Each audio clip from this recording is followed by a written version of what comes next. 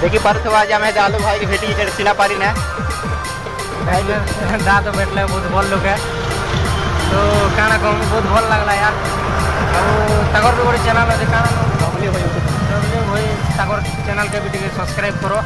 और सपोर्ट कर मुझे जनता करूच আমার আলোক ভাই জানি পুরা ভাল সব লোক চিনিছ से সে আমার भाई ভাই सपोर्ट दिखाते দিয়ে পুরা সব প্যার सपोर्ट দিয়ে ভাল সপোর্ট ভাল লাগে পুরা ভিডিও ভাল ইমরান भाई like comment share comment share करो भाई फुल सपोर्ट करो सब सपोर्ट करो पूरा सब टीम भल लगवा भाई